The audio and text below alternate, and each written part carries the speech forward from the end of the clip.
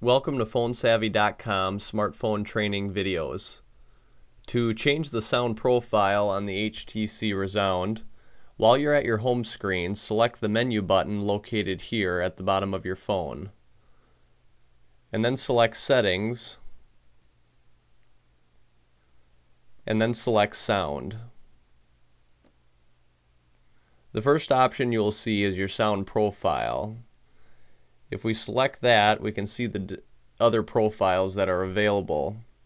Select the profile that you would like, and you can change your phone ringtone and notification tone with these options here.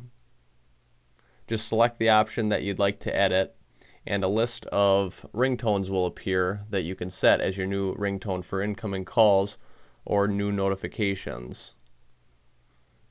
If you want to learn more about the HTC Rezound, visit phonesavvy.com.